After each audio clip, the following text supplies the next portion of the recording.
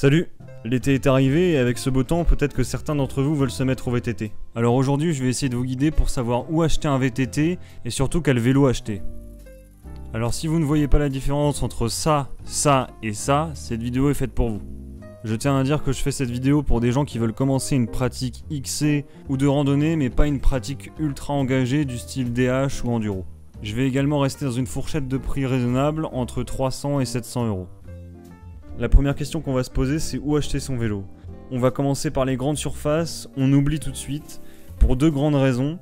La première chose, c'est que les gens ne sont pas qualifiés, il n'y a pas vraiment de vendeur spécial vélo.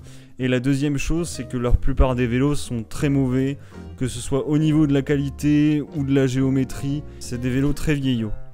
Deuxième chose que je vais déconseiller, c'est les achats par occasion. Quand vous connaissez pas le monde du vélo, premièrement, vous n'allez pas savoir comment estimer un vélo, je veux dire par là estimer sa valeur, et deuxièmement, vous n'allez pas savoir contrôler les pièces, euh, tout ce qui est roulement, tout ça, vous n'allez pas savoir si c'est encore de bonne qualité. Les meilleures solutions pour moi, ça reste d'aller chez son vélociste ou alors d'aller dans un intersport ou dans un décathlon. L'avantage du vélociste, c'est qu'il va pouvoir avoir plus de temps pour vous, vous allez pouvoir lui poser des questions, euh, peut-être lui demander des conseils pour améliorer votre vélo ou euh, pour avoir des pièces euh, de meilleure qualité. En revanche, chez le vélociste, tout est plus cher. Le vélo et les entretiens du vélo, genre purge de frein, tout ça, tout ça sera beaucoup plus cher chez le vélociste parce qu'il n'a pas des, des, stocks en grande quantité comparé à Intersport et Decathlon par exemple. Maintenant, on va passer au vif du sujet, le vélo. La première chose qu'il faut regarder, c'est si le vélo est à jour en termes de modernité. Donc je vais vous citer quelques points importants. Le premier, c'est la taille des roues. Sur un vélo moderne, les roues, c'est soit du 27,5, soit du 29. Deuxièmement, on va regarder le poste de pilotage du vélo. Il faut qu'il soit composé d'un cintre et d'une potence, et pas seulement d'un guidon. Autre point à voir, il faut que les vitesses se passent par un shifter moderne et pas une poignée à l'ancienne, euh, comme on peut retrouver sur des vieux vélos. Dernière chose qu'on va éviter, c'est les freins à patins, c'est des vieux freins qui sont d'une part pas assez puissantes et qui de toute façon ne se font plus.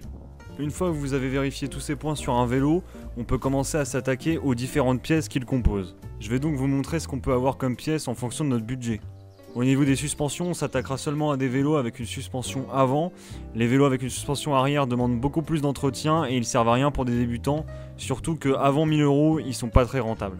Donc pour ce qui s'agit de la fourche, c'est-à-dire de la suspension avant, sur les vélos entre 300 et 500 euros, on aura des fourches dites hydrauliques, c'est-à-dire avec un liquide à l'intérieur, et qui auront plus ou moins d'options et plus ou moins de débattements. On aura des débattements entre 100 et 120 mm, sachant que plus on a de débattements, plus on peut encaisser les chocs. Sur une bonne fourche hydraulique, on va pouvoir également la bloquer pour monter plus facilement, mais aussi régler le rebond.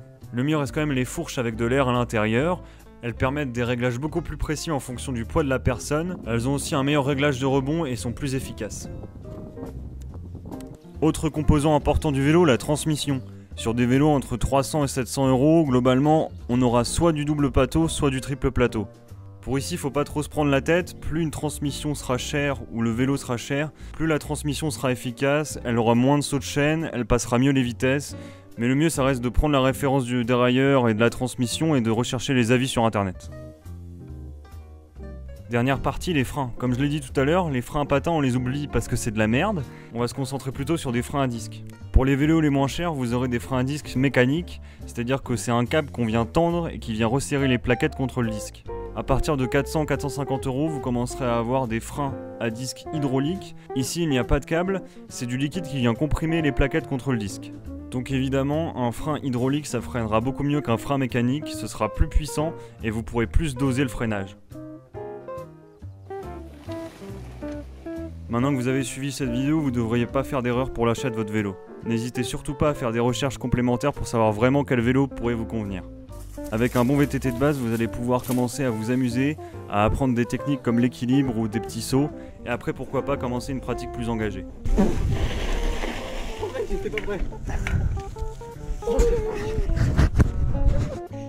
Je te dis que c'était mon vélo, non? T'inquiète, j'ai lâché, t'inquiète, Bref, l'important ça va être de s'amuser. Si vous avez besoin d'aide dans les commentaires pour trouver un vélo, vous pouvez poser vos questions. Sur ce, on se voit dans une prochaine vidéo.